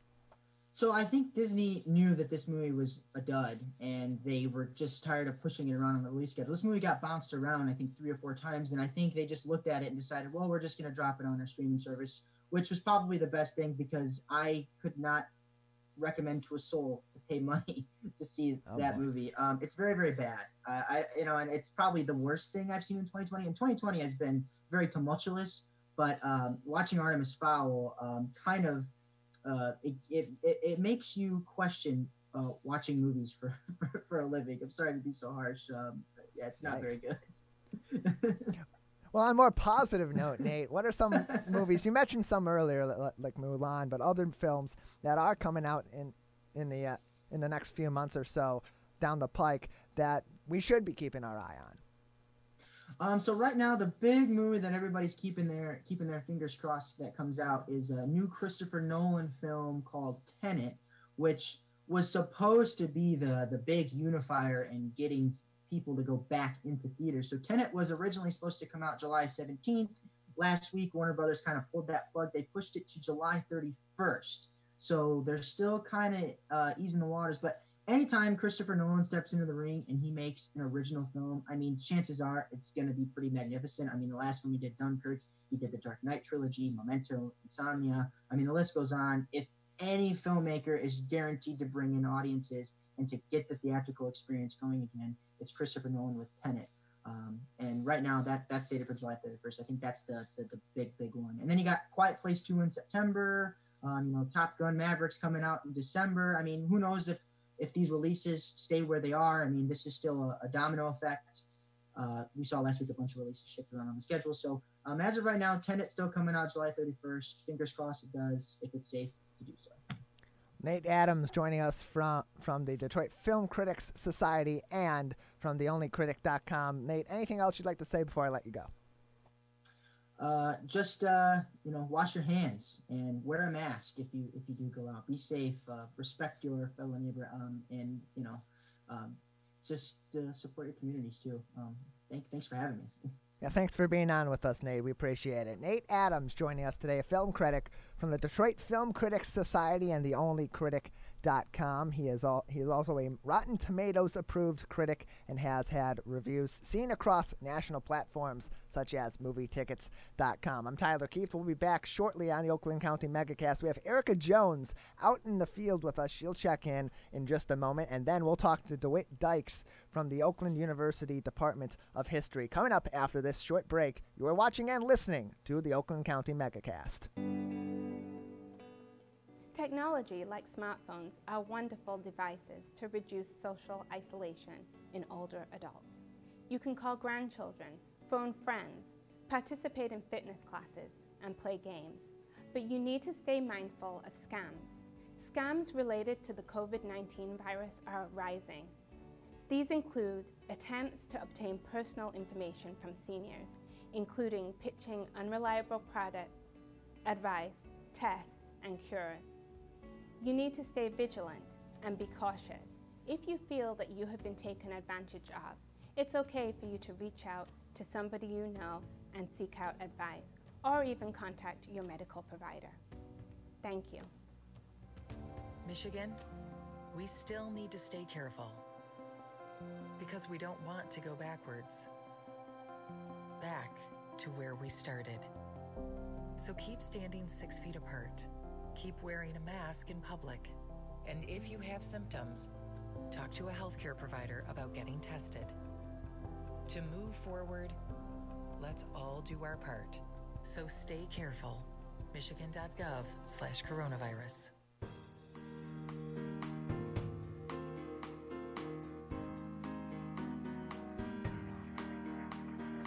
Welcome back to the Oakland County Megacast. I'm Tyler Keefe. And uh, we got a lot still going on here in this in the last half hour or so of our show. Thank you for joining us on 89.3 Lakes FM, on 88.1 WBFH, The Biff, on WAHS 89.5 Avondale Community Radio, and on our video outlets, Birmingham Area Municipal Access and Civic Center TV. Both of those channels on Comcast Channel 15 and AT&T Channel 99. Civic Center TV also on civiccentertv.com. You can click on Watch Live and watch us anytime in full high definition. And you can also find all of our episodes, interviews, and clips from, today, from the Megacast on civiccentertv.com. Just click on Megacast. Also joined on Facebook. Our Facebook partner today is the Walled Lake Consolidated School District. Thank you for joining us, those of you watching on Walled Lake's Facebook page. We're joined now also in the field. Erica Jones is out at a lo- at a local uh, at a local business. Erica, where are you at? Hi Tyler, I'm here at Frenchie's Modern Nail Care on Orchard Lake Road in West Bloomfield with their owner Lindsay, who we were actually lucky enough to have with us on the MegaCast a little while back, and we talked with her then about the struggles of not being able to open. So now we get to see it on the flip side as she just reopened this morning for the first time at 10 a.m. So she's going to talk with us a little bit about how that's been on this first day. Okay. So if I can flip my camera. So hi Lindsay, thanks so much for talking with us. Hi. How's your first day going? It's good. You know, um, we have all five of our nail techs here, and you know we're jam packed busy today, but it's going. You know, we're trying to figure out the whole, you know, making sure we're social distancing, working with masks, then working with gloves. You know, having people text to check in. But so far, so good. So how does it feel to finally be open Feels again? It feels really good. We actually had our first uh, day yesterday, but it was just us sort of getting together, which was nice. Hold on, let me turn Yeah. this off. No Uh, worries. There we go. Sorry. Um, So it was nice to get everyone together. And it was like, we haven't been there in three months. However, it didn't seem like anything. It was nice. It was good. Got back in this one. Thanks. My nails are done. So yay. Uh, so are there any struggles that you faced this first day with the new uh, procedures in place? Well, what I mean, right away we, we're going to learn things, right? Instantly. Um, is, the first thing is a lot of times folks like to sit on the pedicure bench, right, and let their nails dry when their service is done. And it's like, oh wait, we can't do that if we're full and we have, you know, we can only have we have eight eight spots. We can only have four in use to, you know, adhere to the social distancing. So we're like, oh, good news is we have a waiting area that they can sit in. But just right away, we just sort of looked at each other like, she wants to sit there. Like, oh, what are we supposed to do? Um, but we're like, okay, figure it out as we go. Yeah. good. Well, so definitely, in a, just from looking around, it seems like things are going well. If we can take a peek inside and see all the action. So this is the nice setup that they have here. As Lindsay showed us a little while back on the show, their motto is "We love clean." So they have that sign up, very fitting during this time. And then, yeah, as you can see, not all of the chairs are filled, making sure that people are staying socially distanced and distance. That's a family over there. That's why they're together. So yeah, it seems like things are going very well. You know, over here they have their employees wearing gloves and really just making sure to stay clean and keeping everyone safe. What are some of those extra safety measures? We saw that earlier on in the week at other facilities we, we visited that are being put in place. Any sort of barriers or um, social distancing measure, measures on the floor and things like that. Anything else in place Um, that you're seeing, Erica? You know, not quite, not necessarily barriers because they have a pretty good system going, like I said, where, you know, they're just blocking off certain tables or right here, actually, they have a sign that just says this station is, oh, sorry about that. It says this station is closed to allow for social distancing. Um, and then, yeah, actually, they do have the um, plastic things right here to make sure that there's a wall. So, yeah, they do have some extra stuff going on. Like, Oh. have this if people want it to feel more safe. Yes. So people they have these. They're portable, so they have these here if people want to feel more safe. So they're being very accommodating to their customers and making sure that everyone is accommodated. Well, that's good to hear. Good to see. Erica, anything else from out in the field at Frenchie's Modern Nail Care in West Bloomfield? Erica, anything else? Yeah. All right. I'm sorry. I didn't hear that, Tyler. Oh, just asking if you have anything else, uh, anything else to report Oh. from out in the field. Um, you know, I think that pretty much covers it. Lindsay, uh, is there anything else you'd like to say about your reopening?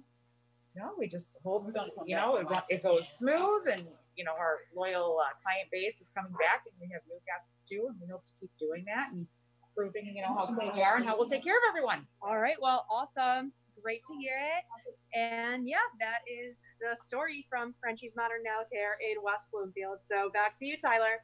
Thank you very much, Erica. Erica Jones out in the field for us today in our in our Oakland County community, giving us a report on some of those businesses that did reopen this week, those salons, those barber shops, and, and so on. Personal care services that were permitted beginning Monday to reopen, and some of them waited, some of them didn't, and a lot of them have different have varying and different approaches to reopening their business in a safe and healthy manner, keeping COVID 19 in mind. We're going to take another short break, and when I return, I'll be speaking with, the, with an associate professor from the Oakland University Department of History. Get a historical context on the movement that we're seeing in Oakland County, in the state of Michigan, and all throughout the United States to hopefully provide some more equity in our society that's long overdue. I'm Tyler Keefe. We'll be back shortly on the Oakland County Megacast. Michigan, we're calling on you to save lives. Don't ignore it. Don't let it go to voicemail. It's urgent. In fact, it's critical. Because if you've been in close contact with someone who tests positive for COVID 19, you may have been exposed to the virus. And you could get a call from My COVID Help or your local health department. So please answer the call to learn how to protect yourself, your family, and friends. We're calling on you to stop the spread of COVID 19, to make it safe to reopen businesses and help Michigan move forward. So if you get a call from My COVID Help or your local health department, you may have been exposed to someone with COVID 19. To protect us all, answer the call. Learn more at michigan.gov slash contain COVID. A message from the Michigan Department of Health and Human Services.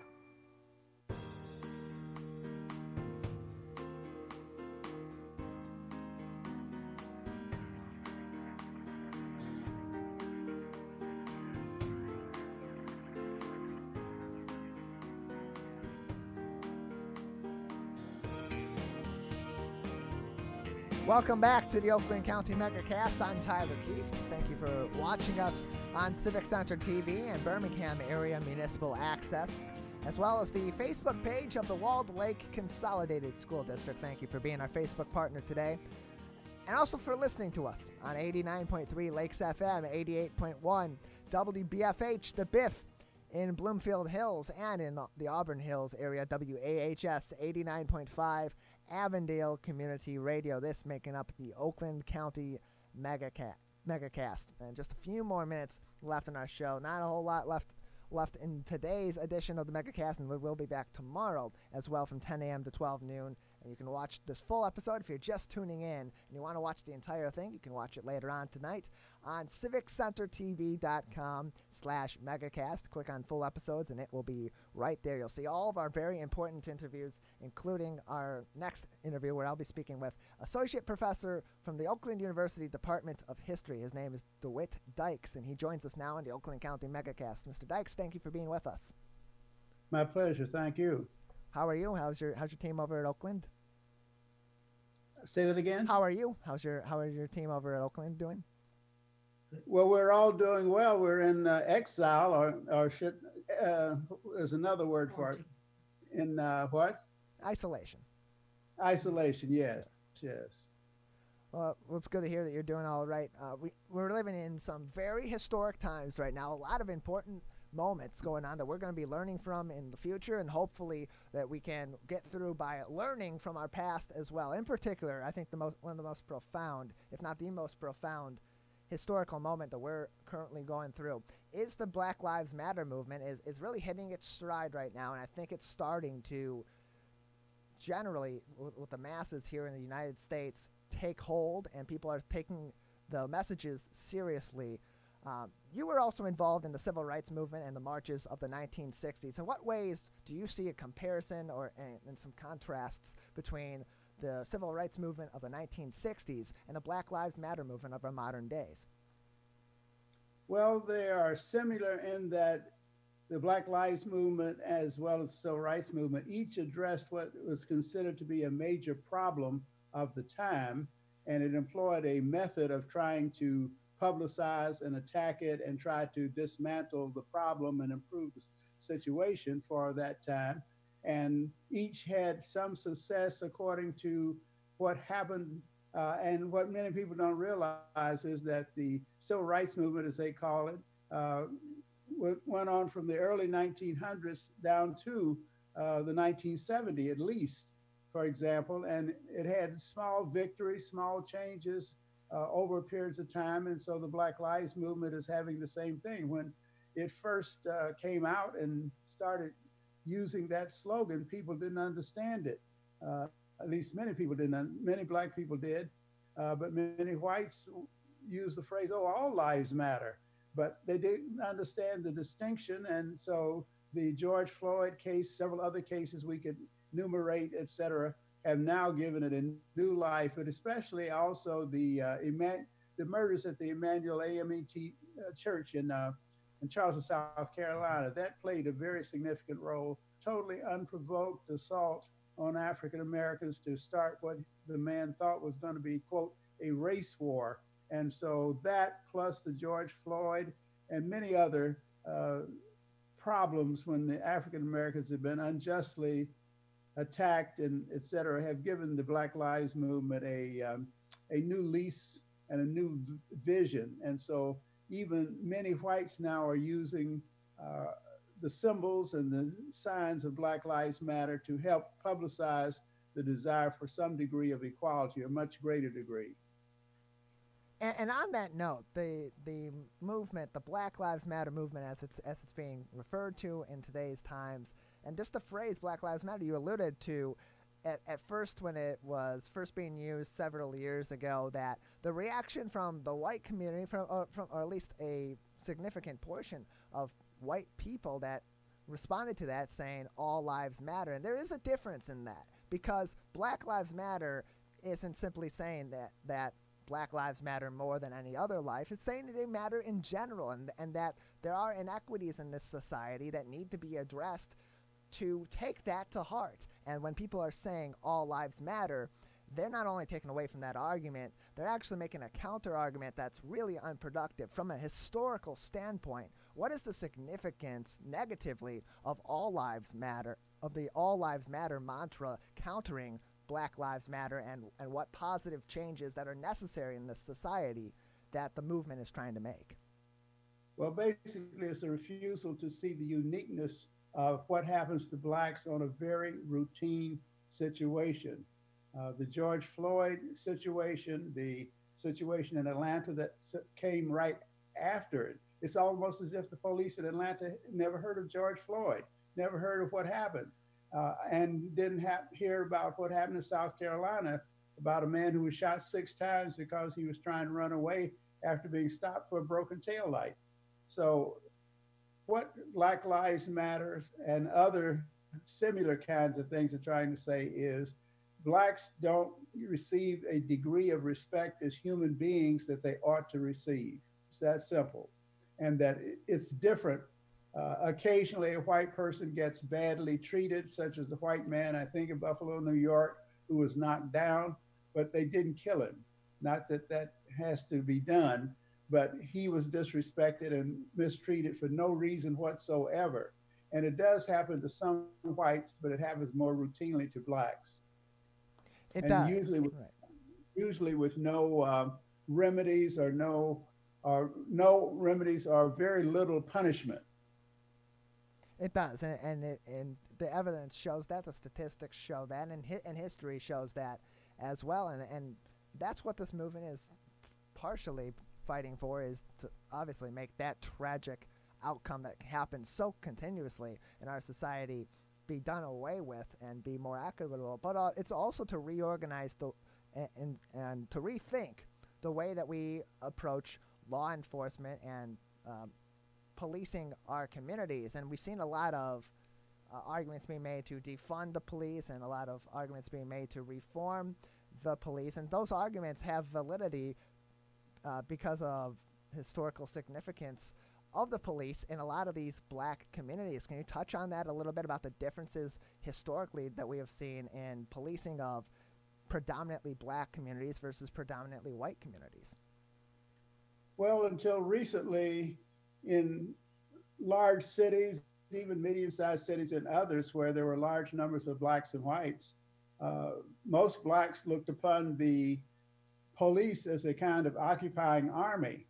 And now that police have won throughout the nation the right not to have to live in the places where they work, them even more of an occupying army, a group of people who come into work and to beat them up, uh, to mistreat them, to assume that any accusation is a serious uh, crime that they've committed and that any black skin is something that has to be investigated, uh, for example. And so many blacks still look upon them as an occupying army and realize that even though there are many individual officers in many circumstances where they do good, occasionally you hear about a officer who helps to deliver a baby, of a woman who's on her way to the hospital, or, or some other uh, save a life or somewhat other. And occasionally in the community policing, some people, some officers are friendly and um, make and use their connections with the, with the community to help solve crimes. But too often we keep hearing about situations where officers get confused and they're called to see if someone's all right and wind up treating the person as if they are a uh, robbery or burglary killing them. And so that happens too often and unfor- it's very unfortunate.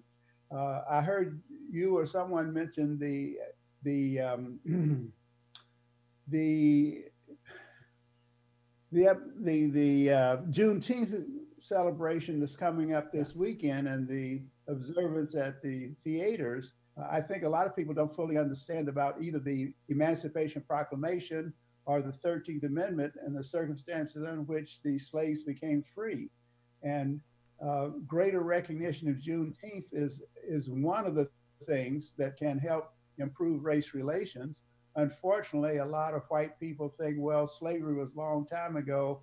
I didn't have anything to do with it. And in many cases, my family had nothing to do with it. And so there's no need to think about it. But it is a situation in which, first of all, uh, almost 4 million people were still enslaved when the Civil War started, almost 4 million. Of those people, most of them were born in the United States of America after the slave trade was cut off in the early 1800s. And many of many whites in general thought that the Africans were inferior. Uh, Woodrow Wilson, as president about 1915, referred to uh, a host, H O S T, of dusky children put out of school too soon. And what he meant by that is somehow slavery was supposed to be civilizing these Africans and making them better human beings, and that it ended too soon. And this, of course, is roughly, uh, uh what is it, 40, 45 and 60 years after slavery was over. He's saying they were put out of school too soon. And so that attitude that Africans in general are inferior, uh, persons of African descent are inferior, has come down to the present time in various ways. It's much more subtle as opposed to as open as it was uh, under the Woodrow Wilson administration. But we still have the assumption of inferiority. Low income status is considered a form of inferiority. And there's assumption that if African Americans were equal to whites, they'd work hard and become economically uh, equal to whites. So uh, anyway, we have these things, and many people don't understand the significance of the Emancipation Proclamation. That it didn't free all the slaves and it didn't cover all of the states where slavery uh, was legal. So the Juneteenth celebration that's coming up this weekend is a celebration to observe the final and ultimate end of slavery. Uh, the 13th Amendment is what finally made slavery totally illegal uh, throughout the country as an institution and a practice. Of course, uh, some slave owners tried to keep uh, the slaves there as long as possible. Uh, and the um, the most important thing that could help African Americans and low income people in general is to improve the economy so there are better jobs, better health care, better pensions, etc. It's terrible that the coronavirus has made low income people and people dependent upon working every day virtually in, in greater poverty than they were before. Mm-hmm. That they have few jobs and few little income and no uh, no backup, and it's terrible that the national government has not increased the uh, the opportunity for low income people to enroll in some form of health care. Instead, they are so committed to getting rid of health care for working class and low income people that they have just refused and act as if it's their problem, so to speak. So we need to have a better economy. Uh, we need to have more benefits, health care, uh, pensions, uh, unemployment insurance. We need to have that for all persons at every level, regardless of their job. We need it for not only people who have steady work in normal times, but people who uh, have uh, part time work and who are trying to raise families and persons who uh, have what sometimes people call gig work, who work by the job as opposed to having a steady stream of income. So we need we need a lot of improvements. We're joined by DeWitt Dykes, Associate Professor of, of uh, at the Oakland University Department of History. My apologies for that. Stumbled a little bit. DeWitt Dykes, right. associate professor at the Oakland University Department of History, with us on the Oakland County Megacast and ma- making great points uh, about the abolition of slavery and the true abolition of slavery because the Emancipation Proclamation was a stopgap. And historically speaking, with the context behind it, Abraham Lincoln didn't entirely want to free enslaved people. It was a strategy to, that significantly helped the Union Army win the Civil War. And the 13th Amendment took away the allowance of slavery of slavery and did legally abolish slavery, but didn't take away those contextual and continuous systemic racism uh, points of systemic racism in our society that still exists today, and that's what we're seeing in this context today of the Black Lives Matter movement. And with that being said, uh, Professor Dykes, the communication is definitely in place. We're seeing oftentimes the uh, powers that be, whether it be municipal leadership, whether it be law enforcement leadership, or it be state and federal leadership, communicating with leadership in the protests and in the movement, opening up conversations, considering different changes. Are you seeing better progress? Are we seeing better progress right now than we have in the past when we've had incidents occur, tragedies occur, and protests begin similar to the Black Lives Matter movement in 2020? Is it having a greater effect now and is more positive change coming from this current iteration of the movement and this current momentum, better yet, of the movement than in the past? Well, temporarily, at the present time, we have greater public attention. Unfortunately, the video showing uh, uh, George Floyd with the policeman on his neck is saying, I can't breathe. The other policemen on his back are watching and doing nothing to try to make sure he lived so he could go to jail and find out if he really is guilty of some sort of a crime. But they killed him without any effort to determine if he was really guilty. He was accused but never proven guilty. And the video makes it so clear. Now, uh, Eric Garner in uh, New York was killed in a similar fashion, and there was some video, but it didn't seem to arouse the same kind of public attention and persistence. And so um, we hope that this will be a longer term concern and a broader examination of social relationships and a greater desire to get something done on a broader scale.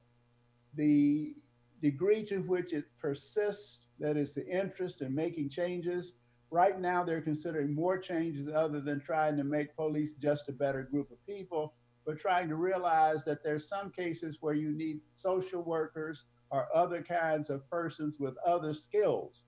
And you might even need to hire some social workers to be policemen to send them out at certain times or persons with those skills.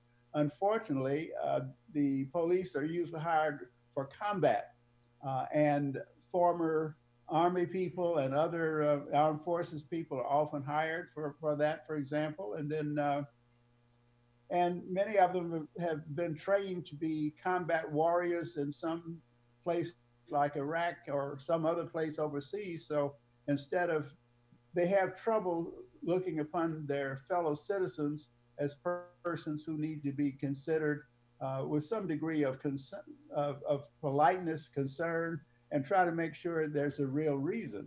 And then if you watch the indictment of the police in Atlanta, they did not tell Mr. Uh, I forget his name right now. They did not tell him he was under arrest.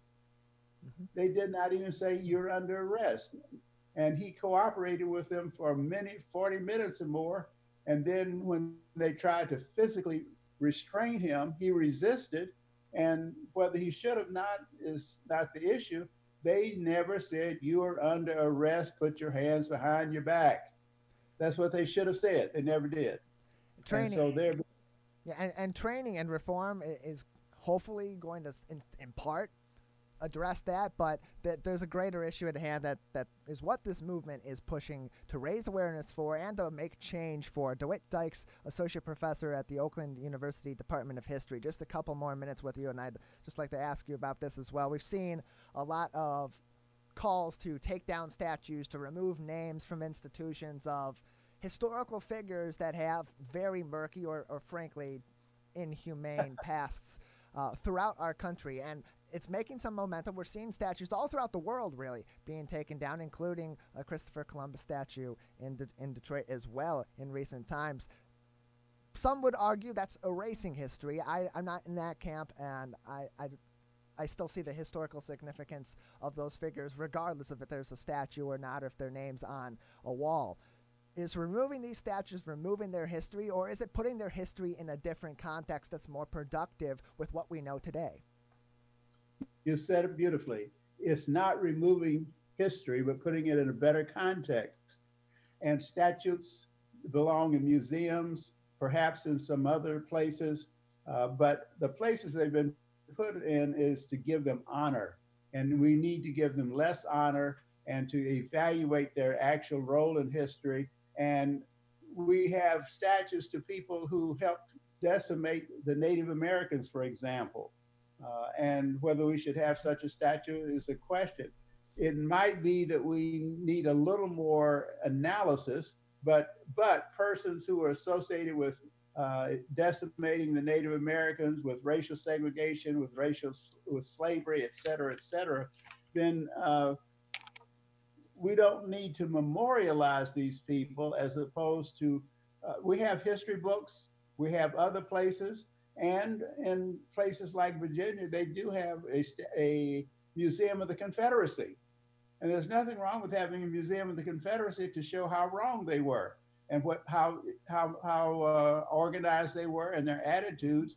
But what we do need to do is to get rid of this idea that the Confederates uh, weren't trying to preserve slavery because that was the primary thing they were trying to do. Right. But some people don't seem to realize that the Confederate flag equals dedication to keeping people in slavery.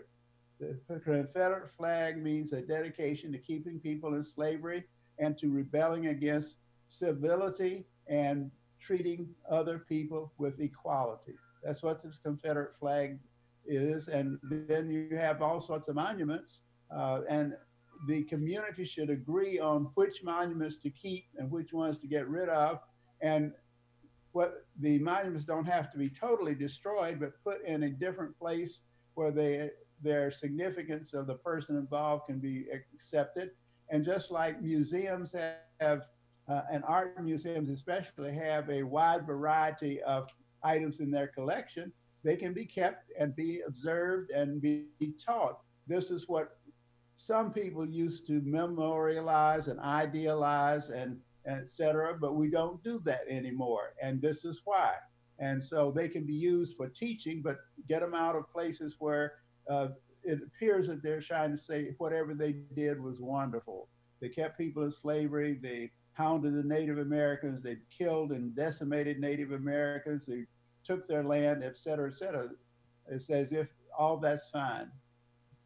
Well, thank you very much for being with us today, Prof- Associate Professor DeWitt Dykes from Oakland University's Department of History. I appreciate you being with me today. All right, and hope you have a uh, happy Juneteenth this weekend.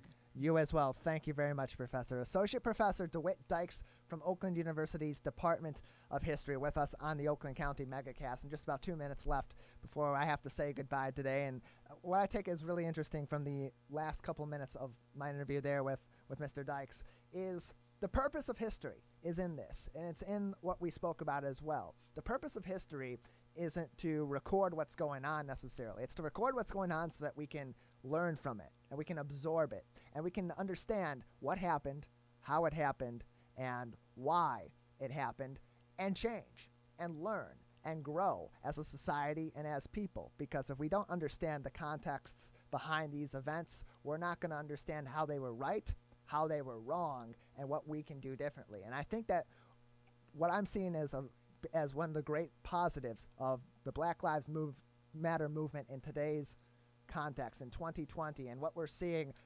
in the in the media and what we're seeing in conversations in the community, human to human, is we're seeing that context of history, that purpose of history be put into action in some way, in some form. It's a slow process, and that's going to happen. It takes a lot to knock some of those ways that we've learned how to learn out of our minds and rethink things. But we're making progress. We're having those conversations and we're recognizing what we've done wrong. We're recognizing what others have done wrong and working to correct them. And I think that's the best that we can that we can do to start the process. It doesn't change things. It doesn't make things better. And it doesn't change history, but it allows us to take the context of that history with what we know, with what we believe, and with what we hope for to make a better world and create a better world. And hopefully, in the grand scheme of things, that's what happens.